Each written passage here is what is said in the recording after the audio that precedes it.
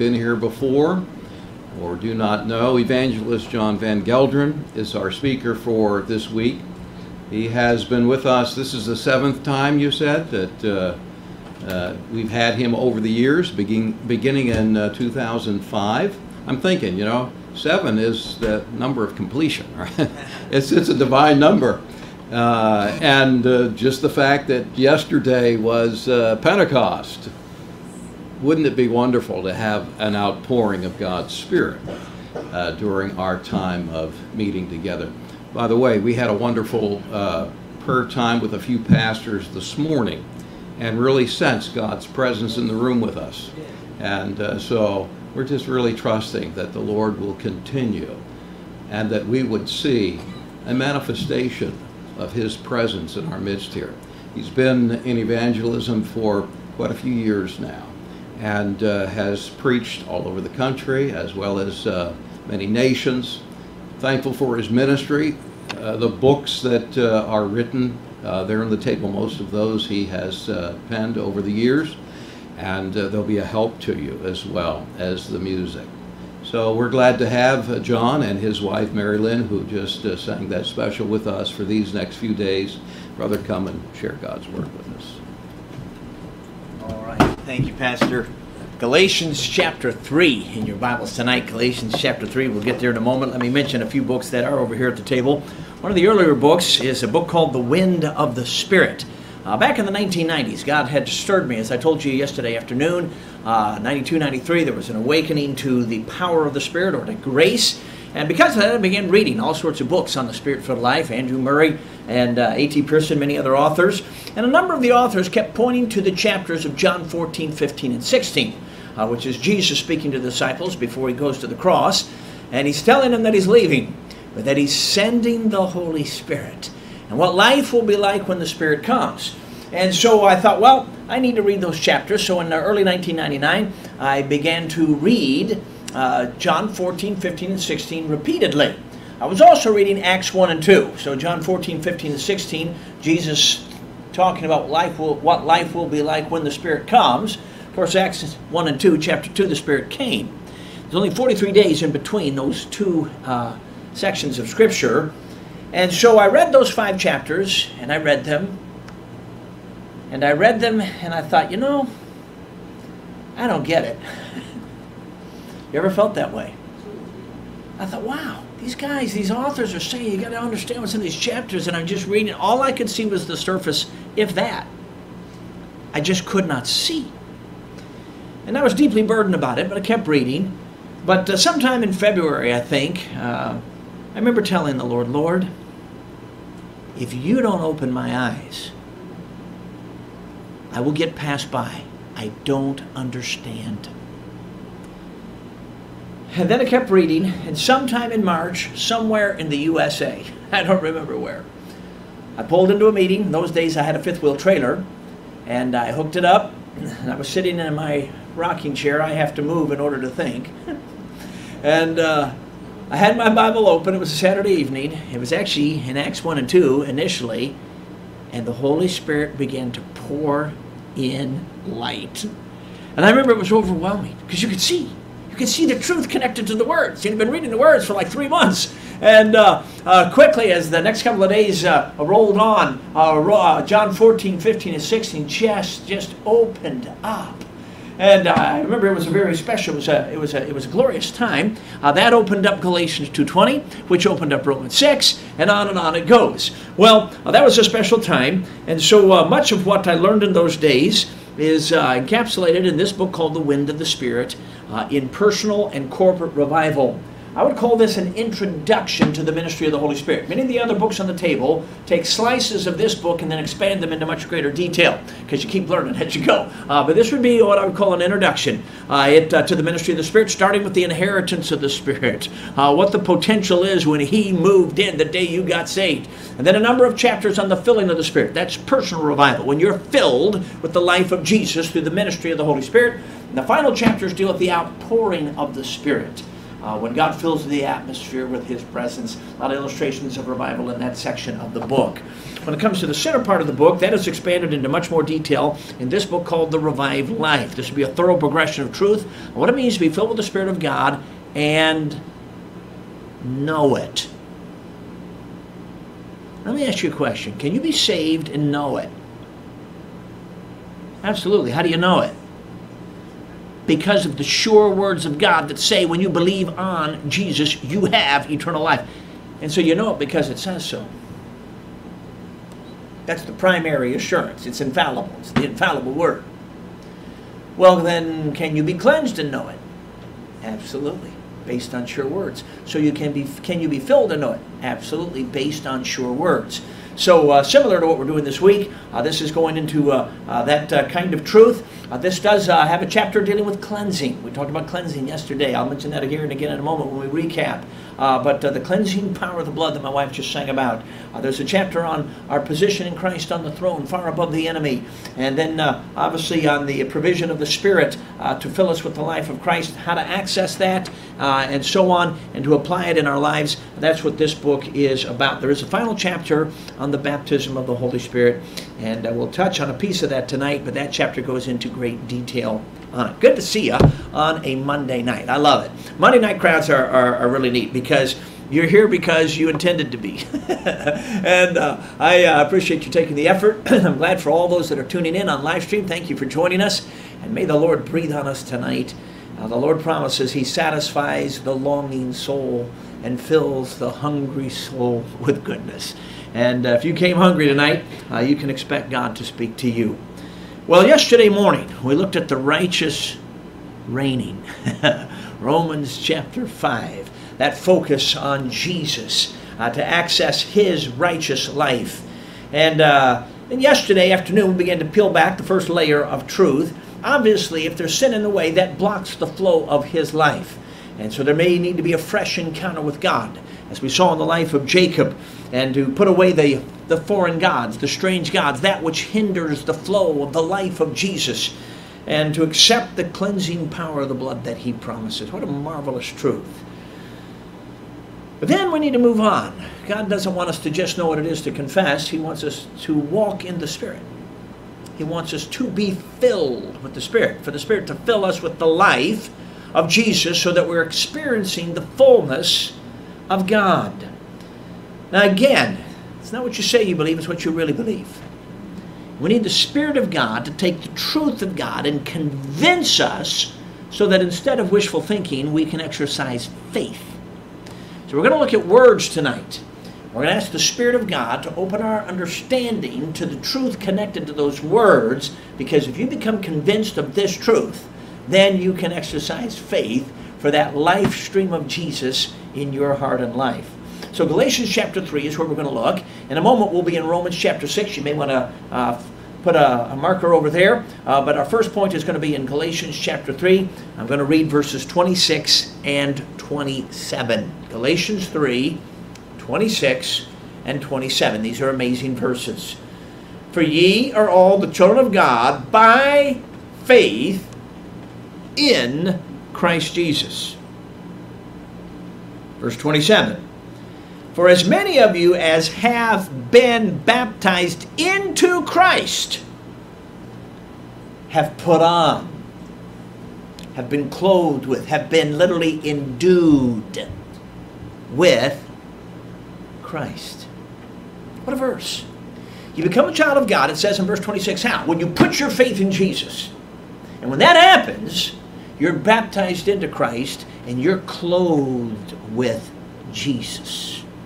And that connection, that union of being in Him and clothed with Him, allows then for the potential of experiencing His life on the throne being streamed from the throne right into you right here.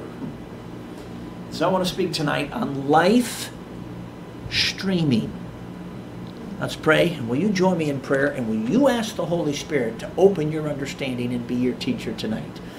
Ah, oh, Lord, we thank you for the opportunity to meet tonight. Thank you for these hungry hearts here. Thank you, Lord, for this church. Now, Lord, breathe on us once again tonight. Oh, Spirit of the living God, would you truly be our teacher tonight? Lord, open our eyes and give us clarity. And may we see the grand truth that's connected to these amazing words. Lord, I pray that you would, in that illumination, so convince us that the faith response would be the obvious, natural response. Now, Lord, I plead the victory through the blood of Jesus over the enemy tonight. Lord Jesus, I claim our position in you on the throne far above the enemy, and in your name I exercise your authority over any powers of darkness that would seek to hinder tonight and trust you that that not be allowed. Lord, at all. Lord, knock out Satan's lies tonight. And may the truth explode in our hearts. And may Jesus, personified truth, be glorified. We thank you in Jesus' name. Amen. I entered evangelism in January 1992, so 30 plus years ago. And, uh, you know, over the years, sometimes you got to move from one section of the country to another section of the country. And uh, occasionally, uh, you've got several travel days in a row, and sometimes this is very, very rare, uh, but you have to travel on Sunday. So back in those days, uh, if uh, that was happening, uh, when it was around 10:30 or so, we would we'd start looking for a church as we're going through a town, and we'd pull over and hope for the best. and you never know, but those were some amazing experiences. But now, you can just live stream. I remember one time, I think we were on Interstate 40 going across New Mexico. And we were live streaming the service at Ann Arbor Baptist Church. That's my home home church. And so, you know, there we are on the interstate. I'm driving down the road. and uh, uh, occasionally I'm looking over, not, not too much because I look at the road, but, uh, uh, you know, we're watching the service as it takes place. Of course, some are doing that tonight right here. That's marvelous. But, you know, God had this live uh, streaming thing figured out long before man did. In fact, God has it even on a greater dimension and level. It's not just live streaming, it's life streaming.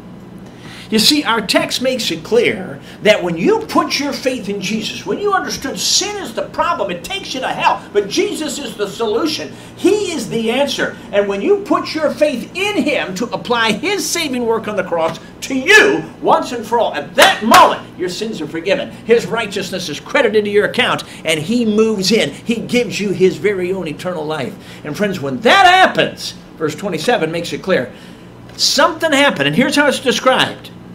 For as many of you as have been baptized into Christ have put on Christ. You're in union. You are in a relationship that allows the life of Jesus from the throne to actually be streamed right into you. And it's not figurative, it's literal. It's just that it's spiritual, not physical. And here's the bottom line if you're saved, you're joined to Jesus, which means you have the privilege of live streaming the very life of Jesus. Now, how can this be? Wishful thinking will get us nowhere, even if it's nice ideas. We have to be convinced by the Spirit of the words of the living God.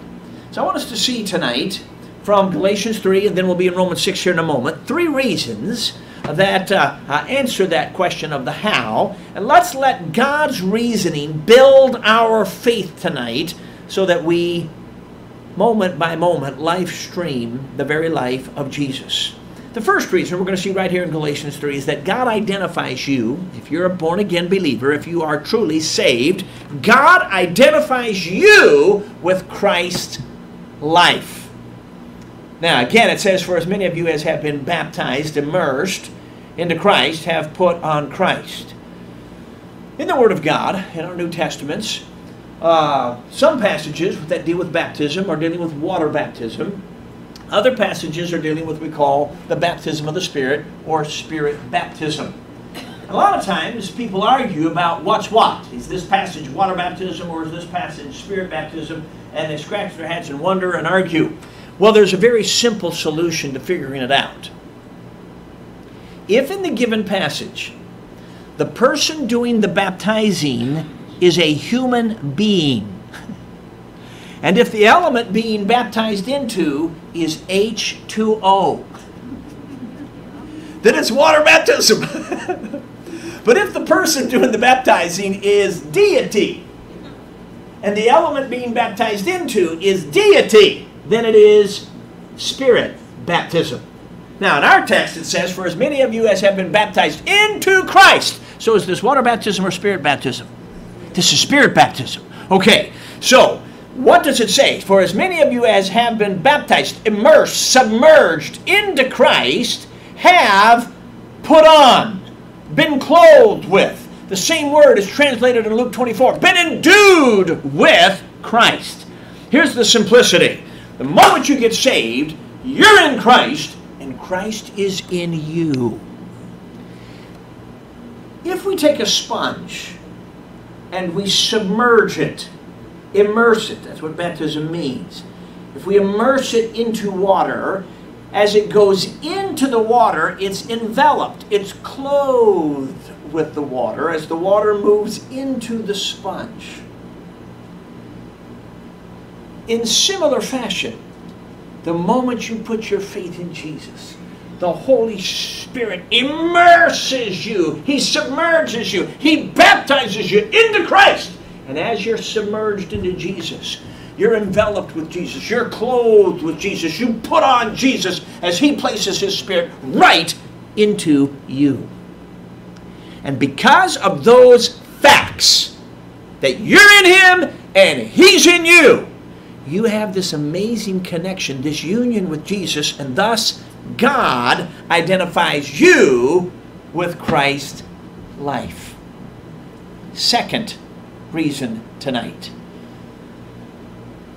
God identifies you with Christ's history. This is the obvious logical follow up. If you're identified with Christ's life, that means you're identified with his history.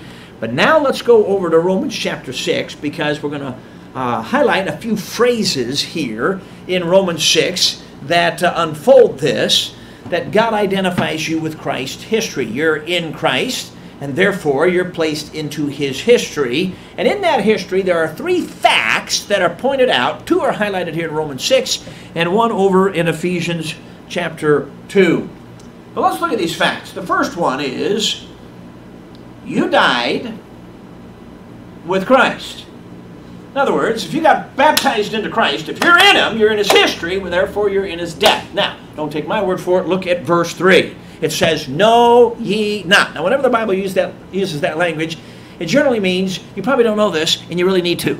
okay, so don't you know that so many of us, as we're baptized into Jesus Christ, here it is, we're baptized into His death. So there's the first fact of his history that the text here is pointing up. When you got saved, you got immersed into Jesus. When you got placed into Jesus, you got placed into his history, and therefore you got placed into his death. Now, physical death, in physical death, there's a separation. The practical essence of physical death is when your soul separates from your body. For there to be a death, there has to be a separation. So if we're placed into Christ's death, then what did we get separated from? Well, cast your eyes up to verse 2, which is the preceding verse. And it says, How shall we that are dead or who have died to, what's the next word? Sin. And not sins, but sin in the singular. That entity inside of us that urges us to commit sins. What Romans 7 calls sin that dwelleth in me. See, sins in the plural is the emphasis of J- uh, Romans 1 through 5, justification. But when it switches to sanctification, it switches from the plural, sins, to sin in the singular. Romans 7, two times, verse 17 and verse 20 says, Sin which dwelleth in me, I shortened that to simply indwelling sin. It is not sins, it is this something in, in us that urges us to commit sins. Now, when you face a trigger of temptation, have there been times when you feel the pull to cave in? Okay, that pull is sin in the singular. It is an entity inside of us that prior to salvation we're joined to, but when you get baptized into Jesus, you're baptized into his death, and that's when you died to sin. So we could say it this way You died with Christ unto indwelling sin. We could say it in more detail. Through death with Christ, the old you was severed from the old master of indwelling sin. So let's jump down to verse 6 and see some more detail here. It says, Knowing this, that our old man is, literally has been, was crucified with him. Okay, so this helps us out. In Galatians 2.20 it says, I am crucified with Christ. Romans 6 6, a parallel verse, tells us which part of the I got killed. You see, when it says I am crucified, somebody got killed. We've got to ask who got killed. Well, Romans 6 6 tells us, knowing this, that our old man was crucified with Christ. Well, let's figure this out.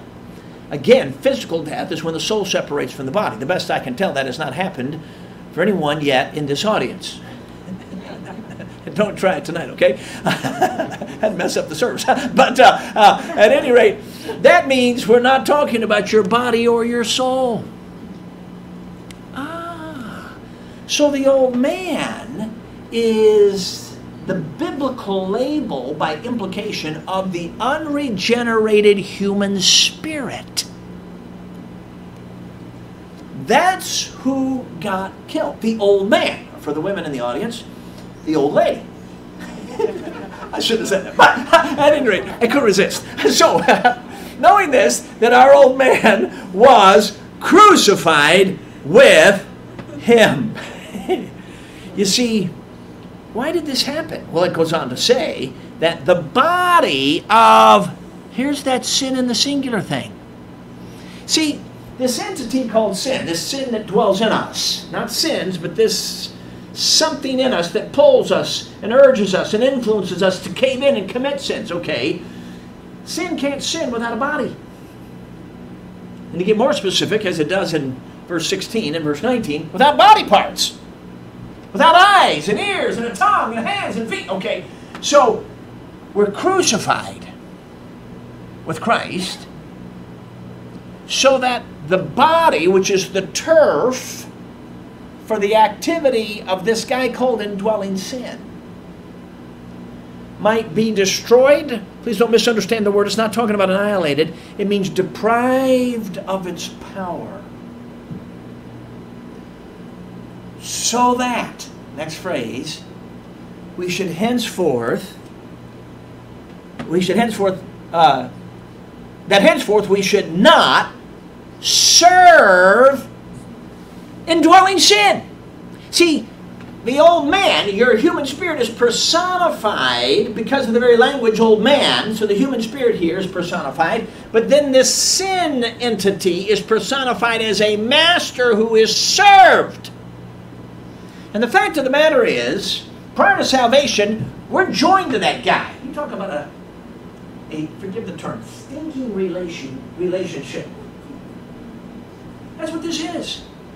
The old you, the old real you, was joined in a relationship with this old master of indwelling sin. It's as if we're shackled. It's as if we're chained. It's as if we're bonded and stuck to this guy so that everything we do in the unsaved con- uh, condition is tainted and defiled by that relationship. Even the best efforts, the noblest efforts, the most uh, kind humanitarian efforts that unsaved people make are done in union with the sin master that taints it and defiles it and makes it a filthy rag that falls short of the glory of God. All of it! And that's why we need salvation in Jesus. And friends, we cannot get out of that relationship on our own. We need Jesus to do it for us. We cannot die to sin on our own. So let your eyes look down a bit further to verse 10, one of the greatest statements, in my opinion, in the New Testament. Verse 10 says, For in that he died, now here it is, he died, that's Jesus died unto sin once. Now look, this is not the same truth as 1 Corinthians 15 3, Christ died for our sins. That's the glorious truth of the gospel to sinners. This is Christ died unto sin. This is the gospel to the saints. Now, friends, we're stuck to this guy. And this is the guy that's always urging us to, to, to commit sins. And we're bonded to him. We're, we're stuck to this guy. We need to get away from this guy. We're shackled and chained. We can't do it on our own. But it says Jesus died unto sin. Now that means there had to be a time when Jesus came into union with sin. And friends, that's the power of crucifixion day. 12 noon to 3 o'clock in the afternoon, the Gospels tell us that this entire earth went dark. It was the darkest day in human history. At the end of those three hours, Jesus cried with a loud voice, My God, my God, why hast thou, what's the word? Forsaken me. That's pretty strong. What was Jesus saying? Friends, in those hours, Jesus, God the Son, who was functioning as the Son of Man to represent us, was separated, that's the essence of death, from God the Father. Why? Because he was in union with us, with sin. And I believe this is why he agonized in the Garden of Gethsemane. Gethsemane. I do not believe he was running from the cross. I know many do. I personally don't. He came to save sinners. He wasn't running from that purpose. It was the way of the cross. It was because for the very first time in all of eternity, this perfect, sinless, spotless Lamb of God, Jesus, the Son of God, but functioning as the Son of Man to represent us, was separated from the Father because he was in an actual contact with sin. One truth is that all the sins of the entire human race were laid on him. All the sins of the race, the very first Adam and Eve to the last human being who will ever live, the sins of the race went on him. That's why he's called the last Adam.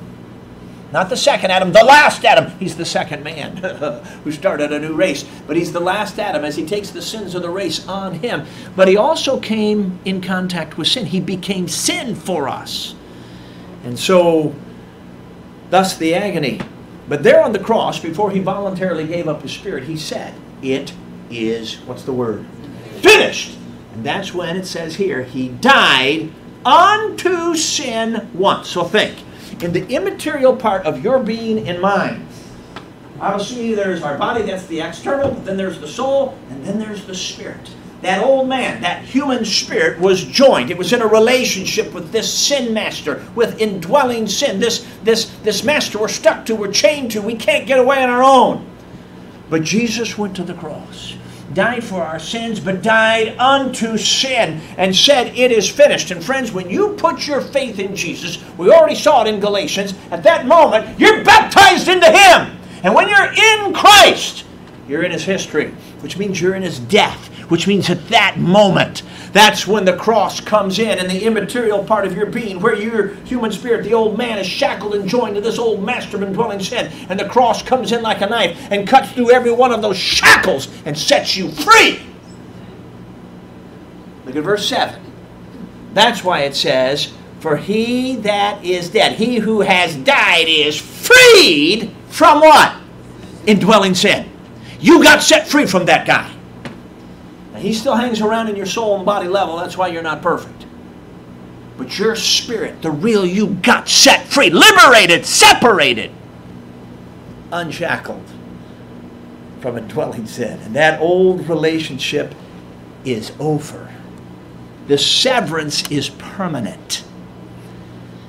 Back in 2009, uh, my wife and I uh, got a house on the foreclosure market of southern Michigan for years we just lived out of a fifth wheel uh, because that's you know basically what we are doing all the time. Uh, but uh, just how the Lord led. Of course, the economy crashed in uh, 08 and and uh, houses in Michigan got really cheap uh, because of uh, all that was happening, the auto industry, everybody leaving, and so forth. In fact, this is what I'm told: you could buy a house in Detroit for one dollar.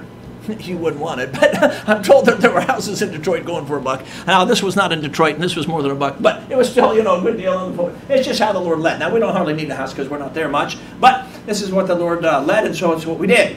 Well, we moved in in December because I had a few weeks off because of the holidays, and uh, we discovered that we were living with squirrels. I mean, they were like up in the attic kind of thing. Now, not the gray squirrels that you have here in the city. These are these little red squirrels. And I mean, they can get in anywhere. And oh man, and uh, the, the the house is a two-story house. They it has cedar wood eaves, and so the squirrels would just chew right through the cedar wood. So I'm seeing these holes. I'm going, oh man. So I hire this guy. He goes up there. He puts all this metal up there. Puts new wood up. Well, they just chewed, hit the metal, kept chewing this way until the metal stopped, and then they went in. Now we had a bigger mess. Well, for several years, I mean, this was just a pain, you know, and they're waking me up in the morning when I'm home too early, and this kind of stuff, and whatever. And uh, uh, we, I won't go into all the detail. We finally got them out of the attic.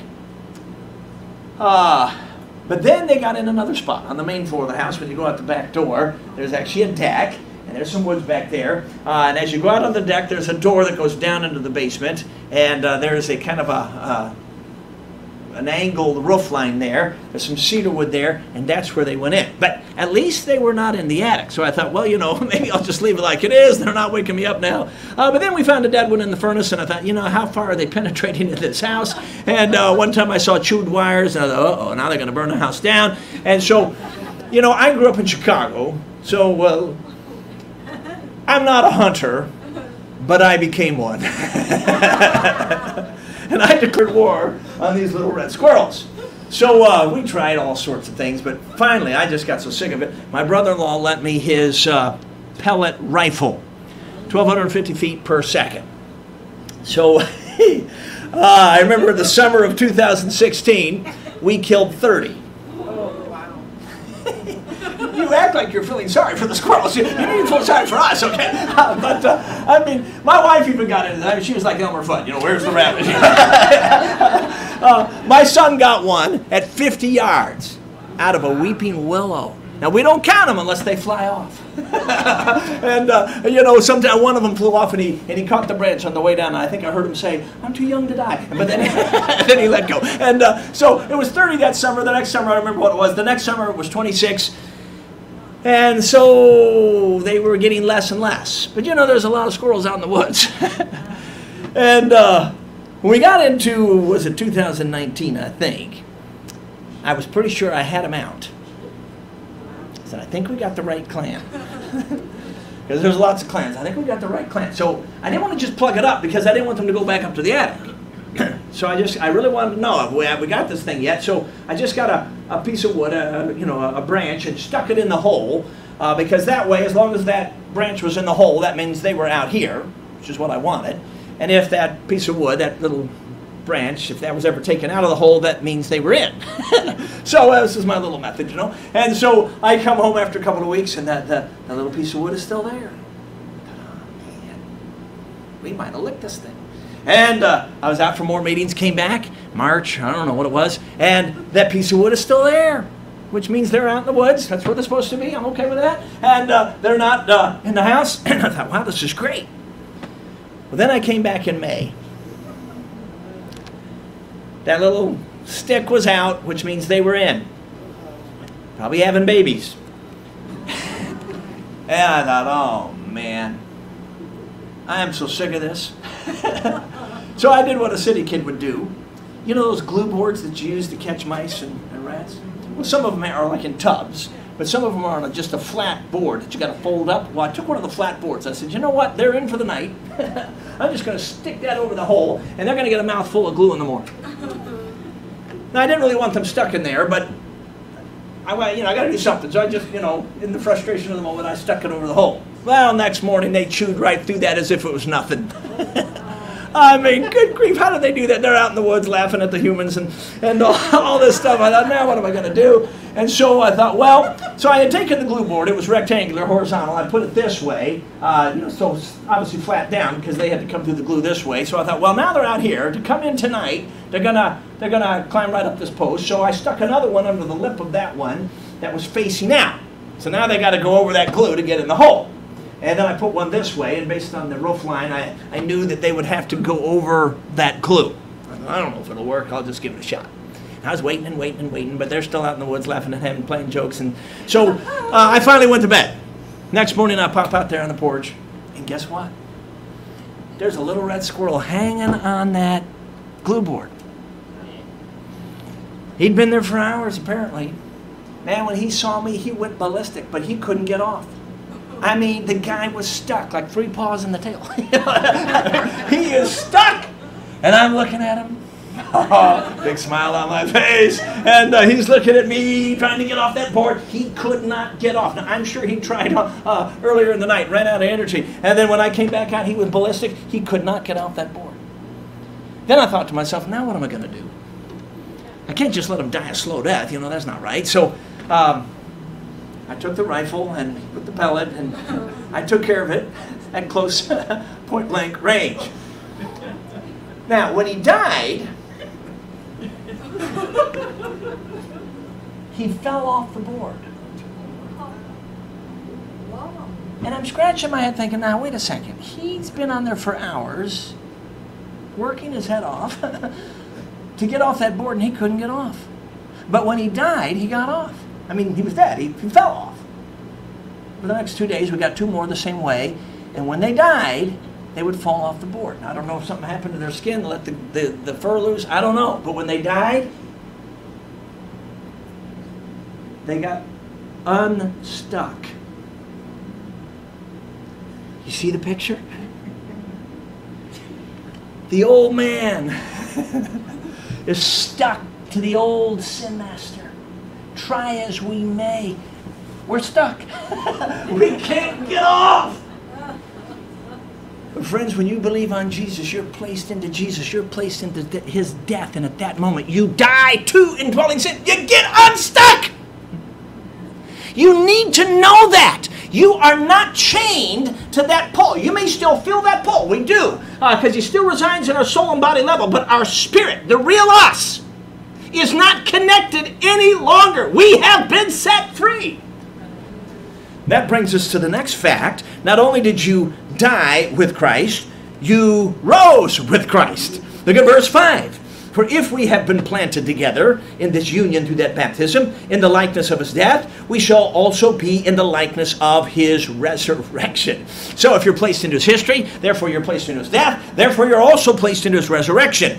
And through that resurrection with Christ, that old you was raised a new you and is now joined to a new leader, the indwelling Christ himself. In other words, the old man dies with Christ and he's raised the new man. Let me ask you a question. Where's the old man? The old man dies with Christ and is raised the new man. Let me ask you this. Is it possible to have an unregenerated spirit and a regenerated spirit in the same body? Is that possible? No. So the old man is the unregenerated spirit. He dies with Christ. He's raised the new man. Ephesians 4.24. So where's the old man?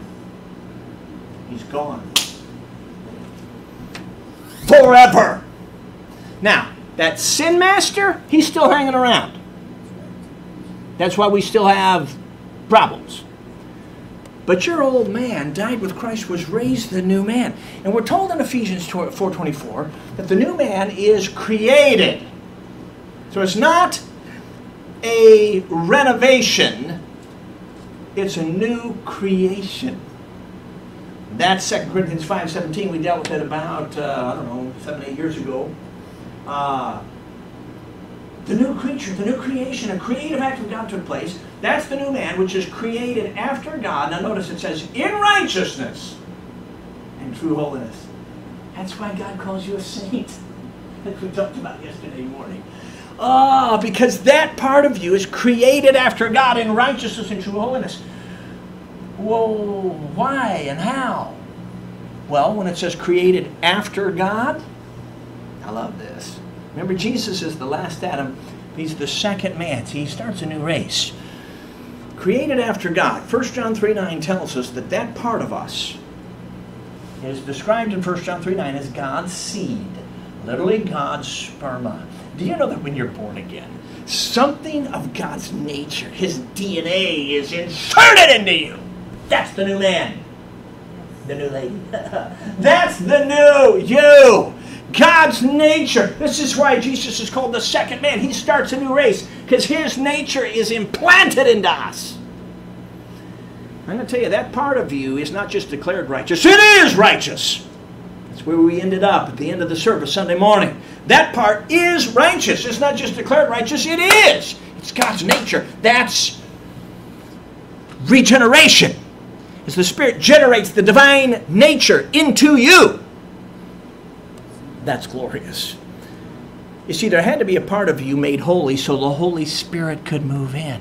And this is even the greater truth. You see, we receive Christ's life actually in a twofold sense. His nature is implanted so that His Spirit can indwell. And the Spirit indwells that new you, that new man that's created after God in righteousness and true holiness. That's where the Holy Spirit moves in to lead and empower. And I call him the new leader instead of the new master because though he is the Lord of all, he doesn't force his way. And God could have done whatever he wanted to, but he chose not to force. The old master, you're stuck, you're chained, it was force. Now you're set free from that guy. You're joined to Jesus. He doesn't force you. In fact, if you want to, you can go serve the old master. You and I have done it. And it makes no sense at all because he's not our boss. We got set free from that guy. You say, why doesn't Jesus just force us? Because he doesn't want us to be robots. He wants a love relationship. He wants faith cooperation. Glad surrender. Oh! See, but he's the new leader.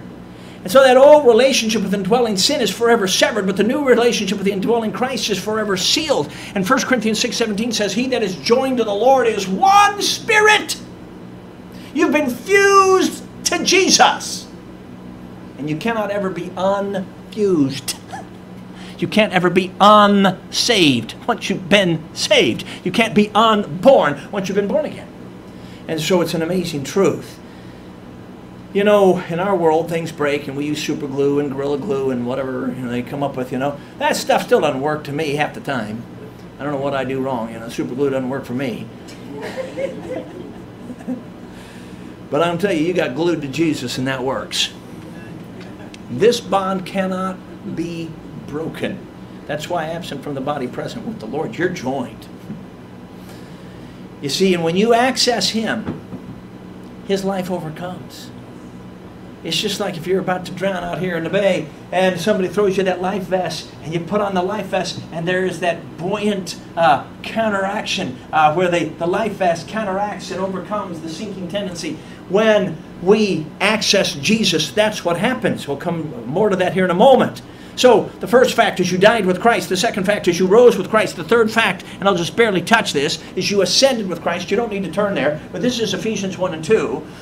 God displayed his mighty power when he raised Christ from the dead and set him at his own right hand. That's the throne.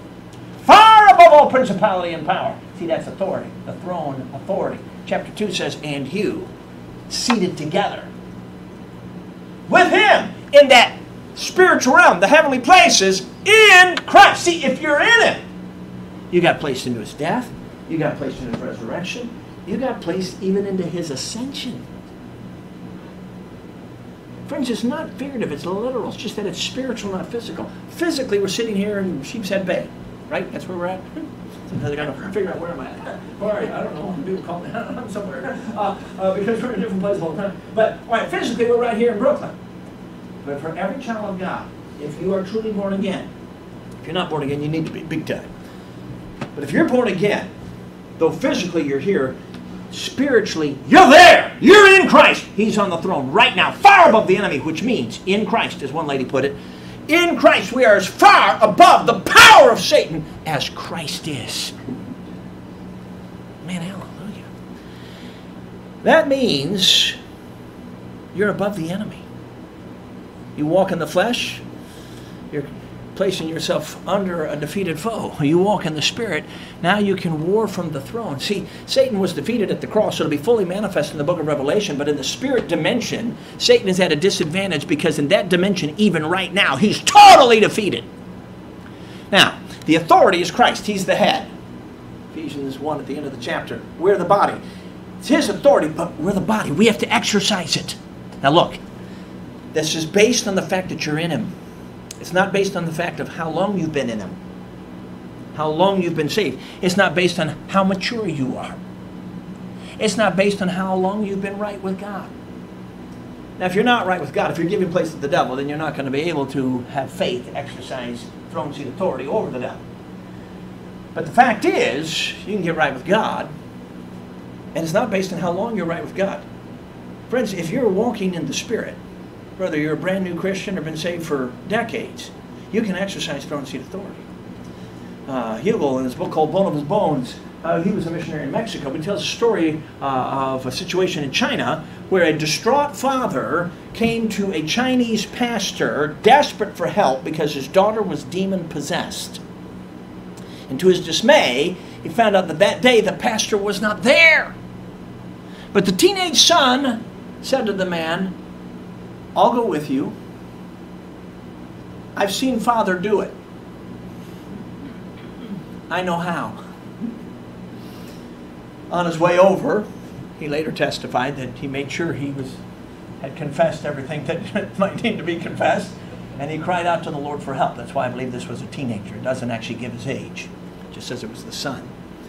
At any rate, when he got there, here's the demon possessed girl writhing around on the floor, foaming at the mouth. We're not used to seeing that. That's what he saw.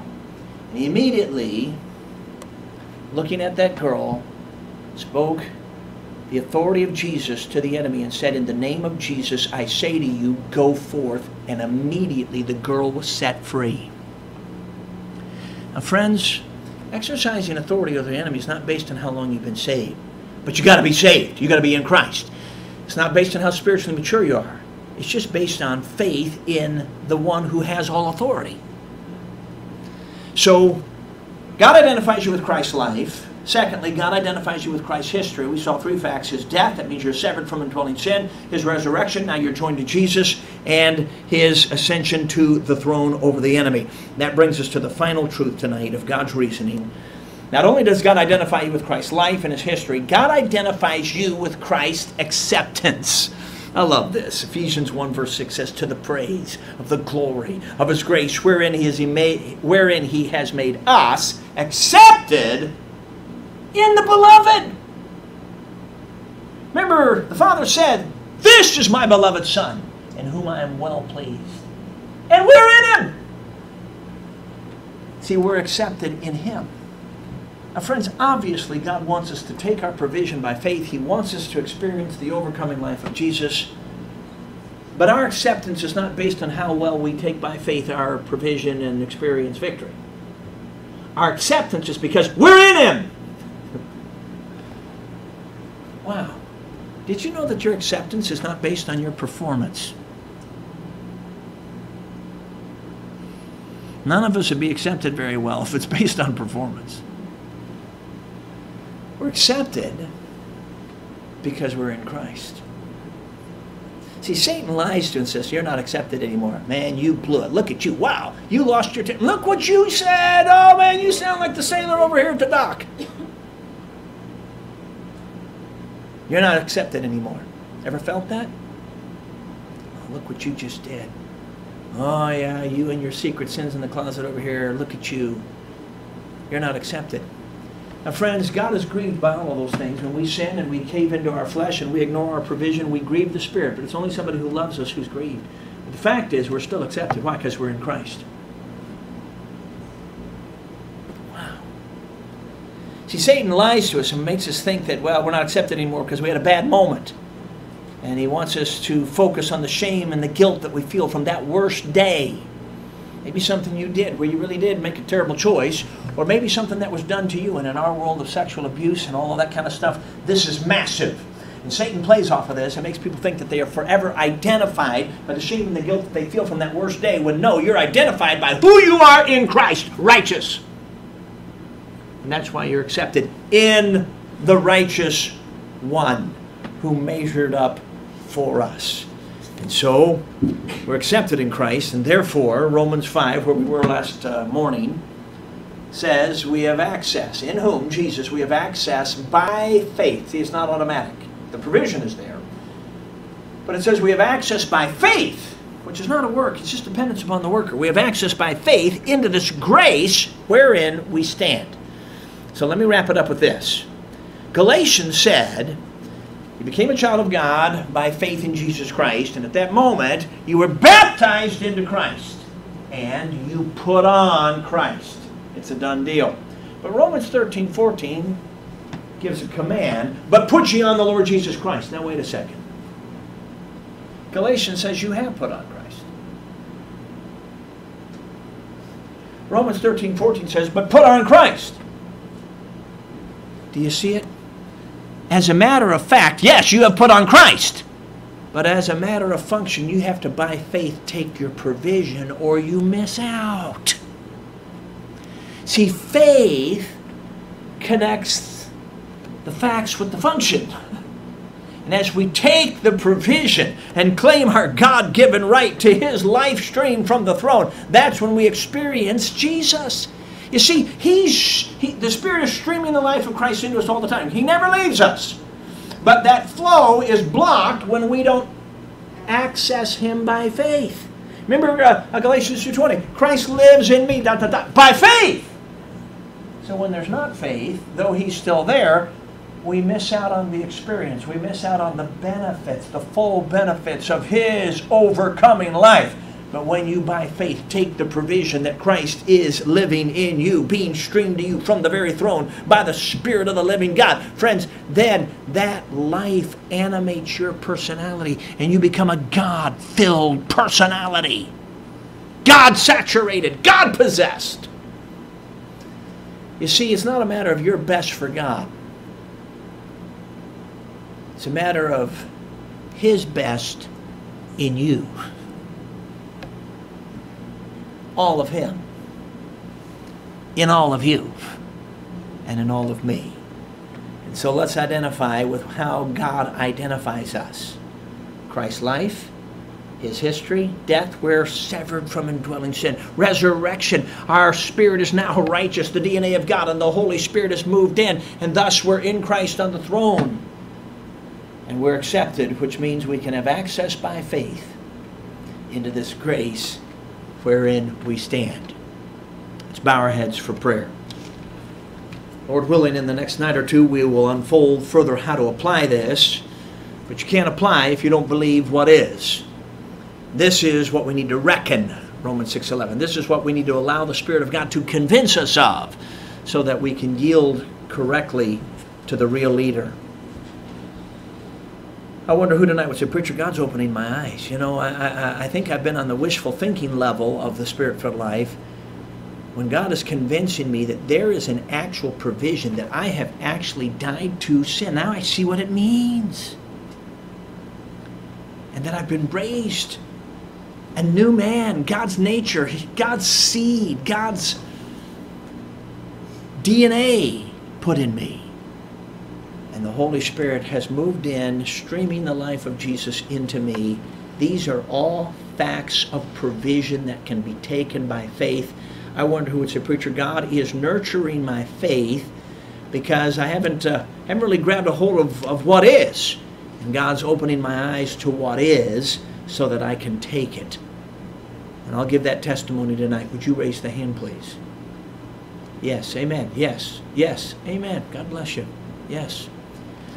Now, friends, let's thank the Lord for what He says is so, because it is so.